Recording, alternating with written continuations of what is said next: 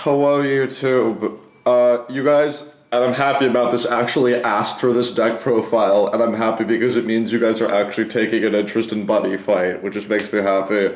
Um, I'm finally back in the game because I found an Evil Demon K split for cheap. Shout out to Brian, and the deck is hysterical and it's so fun. So I'm running uh, the white flag because Eduardo gave it to me for free, so I didn't need to buy one. Uh, your buddy is Evil Demonic Dragon Lupus because honestly, one of the best cards, and like buddy calling in this deck, Loki can be kind of a neg. So it's the only monster with a good effect that has that if your life is above one, it can still get it off to the fullest. Like Belial and Envy, if you have over one life, their effects won't be full. Lupus, it's if your life is six or less. So if your life is at five, like one, you can still buddy call and still get the two draws because you don't need to have one life. And also as a dog. I'll get into what its effect is when I get to it in the main deck. Uh, right now we're running four copies of Extermination Evil Demonic Dragon Belial. We're running it at four because Daryl Burke is still a 20 something dollar card and it's getting reprinted in like three weeks in the Bots versus Gear God deck. So I don't feel like buying it. When that reprint happens, I'm gonna um, cut Belial down to two and run two copies of Daryl because there are so many ways of both searching Belial out but also salvaging it from drop. So like you really only need the two copies, and Daryl itself is one of the ways that you can search it. So it's something can get cut after that. But if you already have Daryl's, you can make that change right now. Really good card. It's a 13 3 13 3 gauge. Um, it can't be destroyed or bounced, and its crit can't be reduced. That's all just inherent to its own effect. Really nice. And if you have one life, it gets penetrate, and its uh, crit becomes 666, and it inherently has move and triple attack. So basically, if you have a one life and this hits, you win. So yeah, really cool card beat people to death. The adult version of closing all your school tabs is closing all your cooking tabs. I had to mince ginger, how to teaspoons of four cloves of garlic. What the fuck is pinch or dash of anything? How to boil water faster. Same. Uh, next is like high key the star, uh, jealousy, evil demonic dragon, envy. Uh, it's great. Um, it's really good. I didn't realize how good and practical it was going to be until I started making Richard feel sad with it. Um, 828, size 3, 2 gauge, chop deck to soul. But if your life is um, 6 or less, it becomes a size 0, so you can have both it and Belial on the field, which is cool. Or if you're at 1 life, you can have two copies of it for easy. And its effect is counteract during your opponent's turn, pay a gauge, choose one of your opponent's dudes, draw a card, rest the card, and nullify its effects. But if your life is 1 or less, that card can't stand for the turn period and also has move double attack and soul guard. Remember that the null it nullifies the effect. I forget that. So yeah, um, great great card. Looks like Magatsu. Kind of. No, it looks like Akitis, my dude. Oh. Um, but yeah, it's really really good. Nullifying stuff, especially on call, is cool. It gives you a draw. Um, yeah. Running it at four, no questions asked. Then four copies of Lupus, as it's the buddy, so yeah. Uh, you can only call it once per turn. Uh, that's because its effect is on call if you have another evil demonic dragon. Charge two, draw one, but if you have under six, uh, six or less life, you can draw a second one.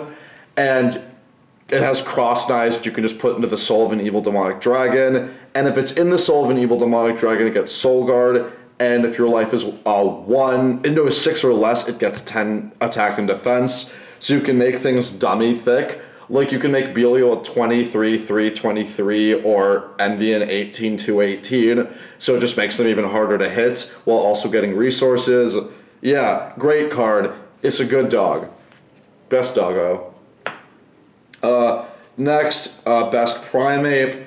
Primates, we're running four copies of Evil Demonic Dragon Simia.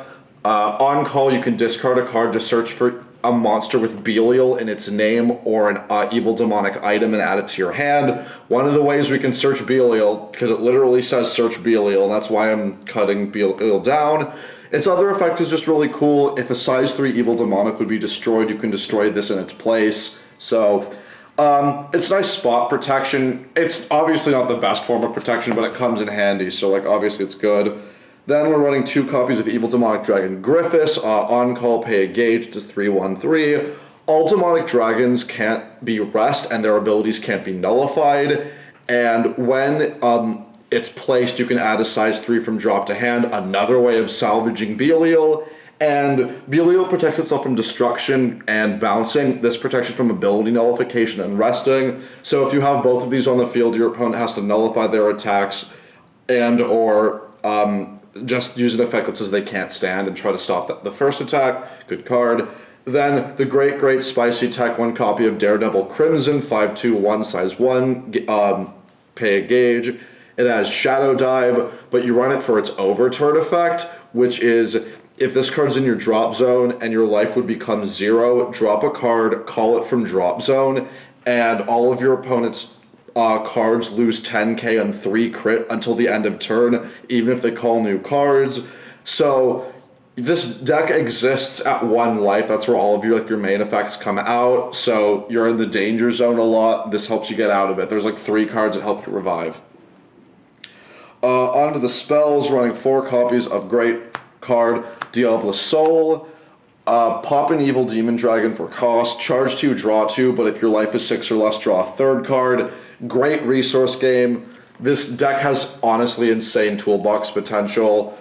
Uh, also, he's really sad. I don't even know what his name is. He's just really sad and depressed. So, hashtag Gabe 2017.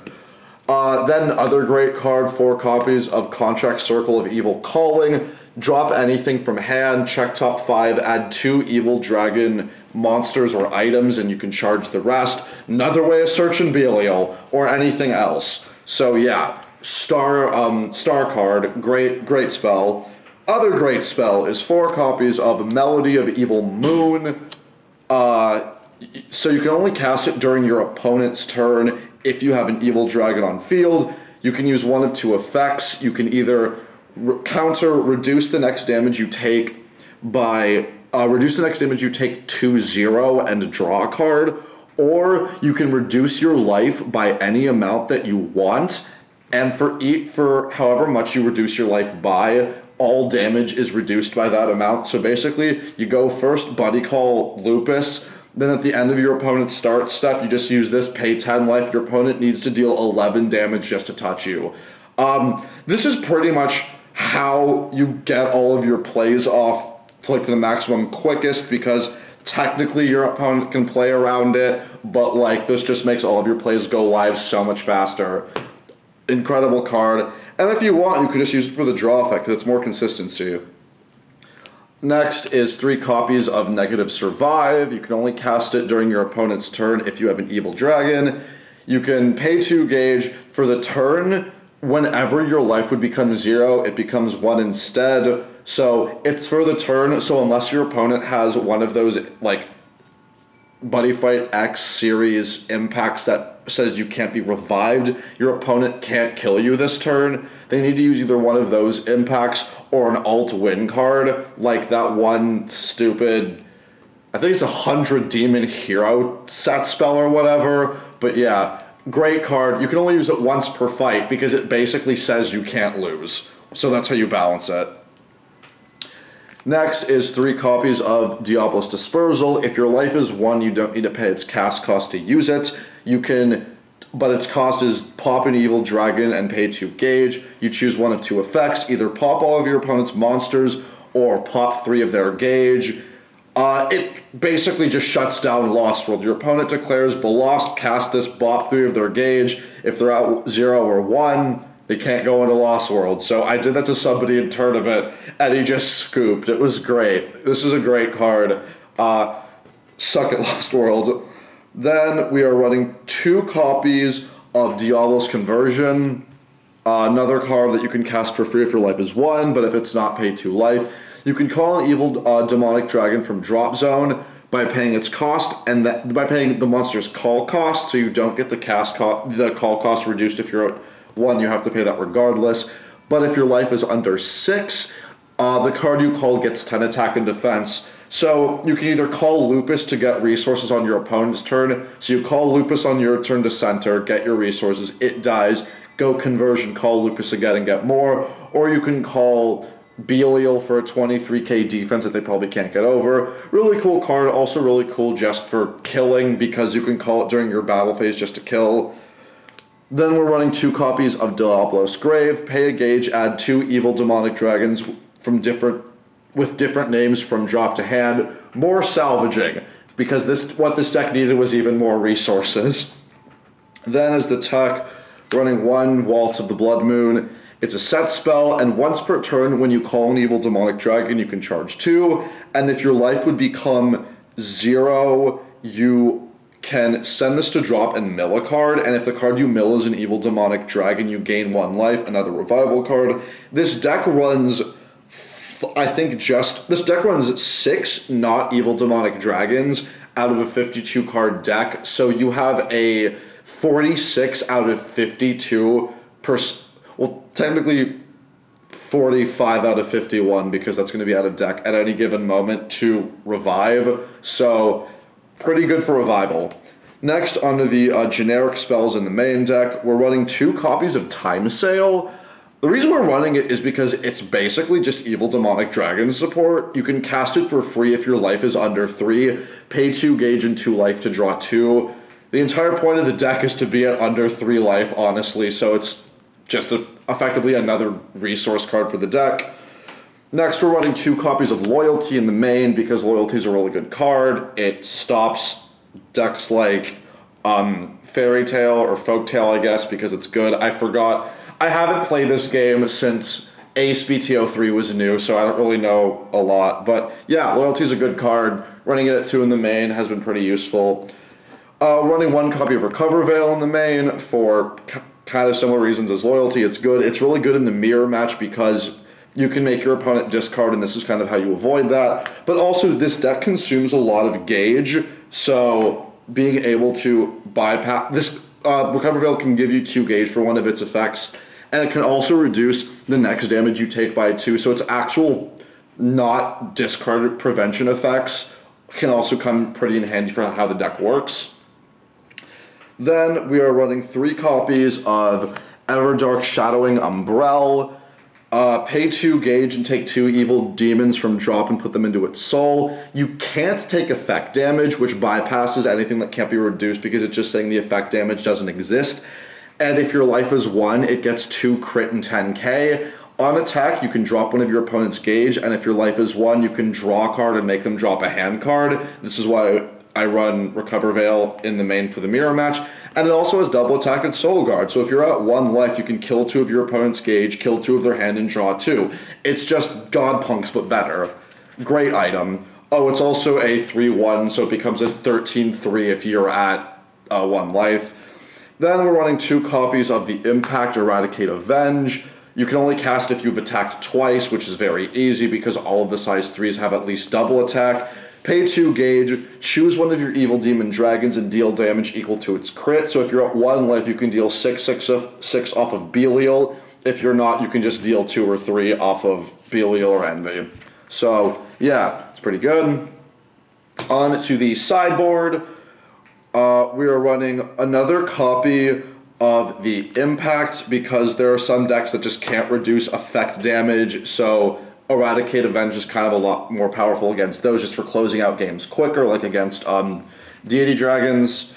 We're running another copy of Everdark Shadowing Umbrella because the fact that it reduces any effect damage, it, it just says you don't take effect damage, especially in a deck that exists at one life, is very, very helpful. So there are the ma- and so while I'm only running, I'm only running three in the main because on top of all the toolboxing the deck does, I have a card that specifically search two cards that search items in the form of Contract, Circle of Evil Calling, and Simia. But being able to any deck that can deal a decent amount of burn damage, this kind of can shut down. So I run the fourth copy just as protection against things like a Thora or that one Deity Dragon spell that does the the, the burn thing. Running another copy of Loyalty in the side just for the decks that can do a bunch of calling. Running another Recover Veil in the side just for the mirror or anything else that can make me discard. Or at the very least kill my gauge so I can get two more gauge off of it. Uh, running two copies more of Griffiths just for decks that can either rest me consistently or and or nullify my effects consistently just to make sure that Belial can go off. And we're running, just for the fun of it, four copies of Diablo Storm because it can actually come in quite handy. It's, um, for this turn, all evil demonic dragon's power can't be reduced by opponent's effects, and when a size 3 attacks, destroy a card, and if I do, drop it drop an opponent's gauge. It's good against decks that have really good set spells just so I can get them out of the way. It's good against decks with really good items just to get those out of the way. The power reduction actually comes in handy because a way that people can out Belial is if they don't have if I don't have um, lupus in its soul, being able to reduce Belial's power by a certain amount can just make its triple six crits useless. So being able to prevent its power from going down is actually can come in really handy. I've decided to not run Buddy Block just because the main reason you run Buddy Block is the effect that says if they have attacked four times, you don't take attack damage.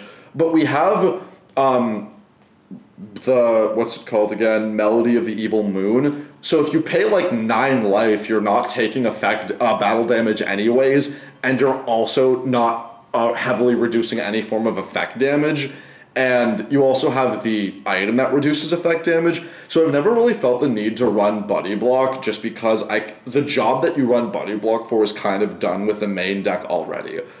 Um, yeah, I also don't have chest breaks as those are in the mail, so I might put those in depending on how useful they be, but honestly Diablo Storm has been the most useful thing for this. Uh, yeah, this is my Evil Demonic deck profile. You'll be getting a Legend deck profile hopefully soon. Uh, yeah, thanks for watching, like, comment, subscribe, and play Buddy Fight.